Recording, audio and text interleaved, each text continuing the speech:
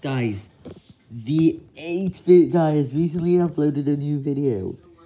It was the VIC-20 update. It was a computer that came out in 1983. I think that's that's the year it came out, and the 8-bit guy is making a new video on that.